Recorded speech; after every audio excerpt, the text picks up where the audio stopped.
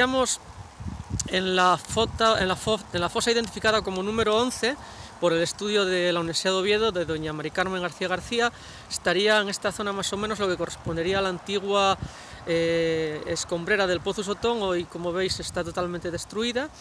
y eh, en este caso se cree que había dos cuerpos, de los que solo se identifica el de Benjamín Torre Fernández de Blimea. Eh, como os digo, mm, bueno, pues está totalmente estudiado, no sé si se habría encontrado eh, la identidad del otro cadáver, pero de momento es los datos que existen. Si abrimos un poquitín el angular de la cámara y vemos allí, en aquello, un poco más allá del polígono este de, de empresas, aquella zona sería la zona de Tetuán y estaría un poco más allá de la zona de Generala, en la que hubo un polvorín y una trinchera eh, durante la guerra civil y donde se cree también que existen eh, unos 14 cadáveres, aunque están sin documentar. Esta zona, bueno, pues lo que sería el, sotomonte que está detrás, pues fue una zona de conflictos del, del Maqui, de la guerrilla del Maqui contra las fuerzas de represión franquistas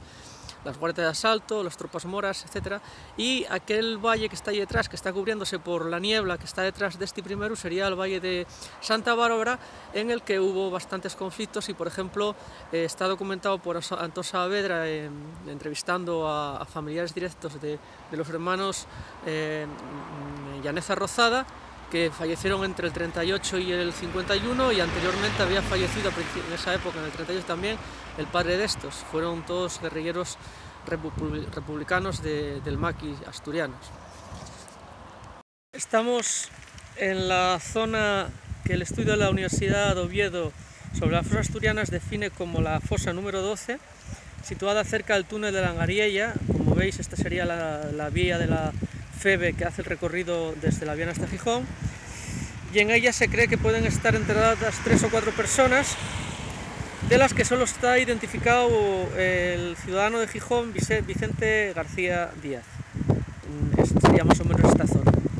Como veis también zona próxima al Sotomonte por el que podía haber bueno pues refriegas entre el maquis y las tropas de asalto de la Guardia Franquista.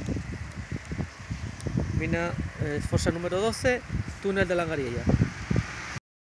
Estamos en Veró, pueblo situado encima del Valle de Santa Bárbara y aquí está indicada, como veis, la ubicación de la fosa del Sienru y la, y la fosa del Vescón, donde aparecen referidos los cadáveres de algunos de los hermanos de los Llaneza Rodríguez y de José Barrendero. De hecho, parece ser que en la batalla del Vescón había, según algunas, algunas voces, había cuatro maquis, miembros del maquis, de los cuales dos pudieron escapar, el Yargu, uno de ellos, y apareció, bueno, pues eh, medio muerto, medio devorado por les alimañes, pues en la fosa que se considera hacia abajo. Bueno, como está bastante yo creo que lo importante es esta memoria, este monumento a la memoria que el Ayuntamiento de San Martín rinde a estos luchadores por,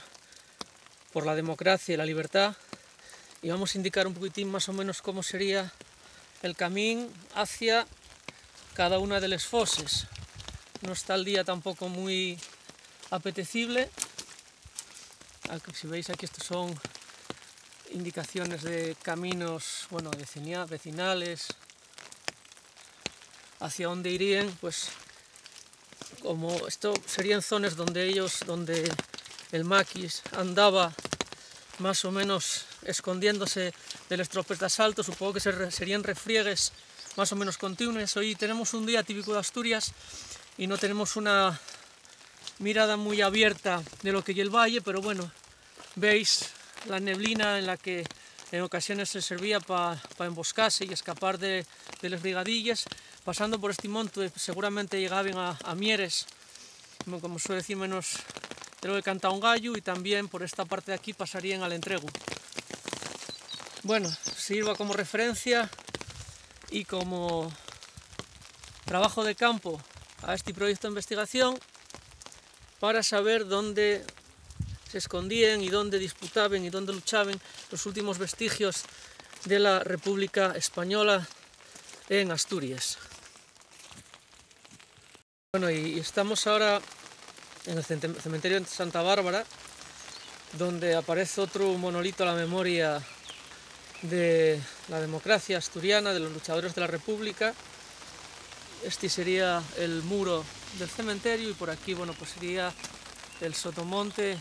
estaría pues encima de lo que sería el Valle de Santa Bárbara. Bueno, pues en esta fosa reposen los huesos de algunos de los, de los maquis y represaliados por el régimen franquista después de, de la guerra civil y como os digo es otro de los monumentos que el Ayuntamiento San Martín del Rey Aurelio propone y dispone a la memoria de todos aquellos guerrilleros del maqui asturianos que lucharon por los últimos vestigios de la República. Estamos en la parte baja de lo que sería el Valle Santa Hora, justo a la salida. Esto sería, bueno, pues eh, la parte de aquí de ahí arriba sería donde venimos ahora de la zona de Veró. Veis que la niebla se está tirando abajo, son, pues más, son ahora más o menos las 7 de la tarde y un día bastante cerrado, parece que está hecho a posta de los tristes días que, que estos guerrilleros republicanos tuvieron que sufrir en sus carnes.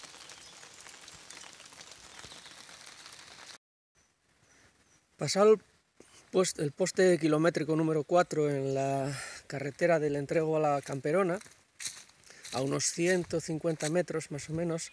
en la carretera comarcal, hay un tendido eléctrico que eh, define también pues, geográficamente donde eh, hay un desvío que va a la última de las fosas mm, comunes que vamos a visitar, que es la de la Camperona. Como veis, es una, una, cima, una pequeña eh, maguada en lo que es el, el, valle, que termina en este, en este, bueno, este planillo, y aquí ahora os voy a enseñar bueno, pues todo lo que sería la zona donde seguramente ocurrieron los hechos. Y os enfoco ahora lo que sería la mina de la Bornaína, que es donde estuvieron refugiados dentro ocho guerrilleros y que según cuenta la historia, eh, delatados por un falangista, fueron combinados a, salir, invitados a salir, bajo el engaño de que no les iba a pasar nada. Los guardias y, los falangistas que los sacaron o que les mandaron salir, se les dieron un bocadillo, una tableta de chocolate y una barra de pan y cuando estaban tranquilamente comiéndolos, los ametrallaron. Estos son bueno, hechos luctuosos según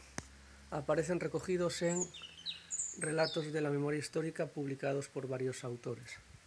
Esta sería la zona de conflicto y, como os digo, uno de los hechos más luctuosos, más horribles eh, ocurridos en San Martín del Rey Aurelio. Bueno, en el trabajo anterior que os había comentado había un error que gracias a Dalmacio Iglesias hoy se puede recomponer. De hecho, aquí veis la placa que está en el antiguo cementerio de Blimea. El error estaba en el que la fuente oficial de la que había bebido para el trabajo, la de la Universidad de Oviedo, presentaba una foto de el cementerio nuevo, que data de la década de los años 70. Bueno, esto sería el cementerio antiguo donde aparecen, bueno, pues una fosa común que no se sabe exactamente el número de personas que tienen dentro, pero que sí se cree que están identificados, los, están identificados los cadáveres de Cayo Barrañeda Vallejo, de 31 años, fallecido el 3 de marzo del 39, y el de Jerónimo Iglesias Rozada, de 38 años, el 16 de mayo del 38. Bueno, eh, ¿cómo lo localicé el cementerio este? Bueno, pues inicialmente gracias a las referencias de Dalmacio, Hoy veis que tiene un uso totalmente distinto, que el de pasto de, ovejas. Ahí hay una, pequeña capilla. Y después, porque hablando con Tamara Iglesias, concejala de Podemos del Ayuntamiento San Martín de Reoredio, me decía que eh, cree que su bisabuelo esté enterrado o esté entre los desaparecidos o entre los asesinados en esta fosa. eh, no sabe exactamente si así o, o, bueno, cuál es la situación, pero creen que está ahí. Tienen solo unas referencias de, digamos, de la partida de función y mmm, poco más. No tienen ni fotos, solo les huellas. Me comentaba cuando falleció su abuelo, el padre de su padre, y que bueno, que vienen a intentar eh, pues dar solución a, al hecho. Posteriormente, para saber a ciencia cierta dónde estaba situado, pues eh, está bien ahí jugando la partida, algo que eh, antropológicamente muy común en, en las sociedades mineras. Estaban jugando al tute unos cuantos parroquianos y, y os pregunté, eran conocidos, y me dijeron que el ayuntamiento, el, perdón, que el cementerio de, antiguo de Blimea estaba situado detrás de la iglesia, esto sería la parte detrás de la iglesia, esto sería también gases de la barriada de Nuestra Señora de las Nieves, y que había sido cambiado en los años 70 hacia la zona de arriba porque había habido unos, unos derrabes y unos riesgos de que, de que se viniese abajo. Con esto queda más o menos pues solucionado uno de los primeros problemas del trabajo de campo, agradecer a Dalmacio, agradecer a las personas que me referenciaron y un recuerdo a la memoria, como traía aquí, de todos los que dieron su vida por la libertad y la democracia.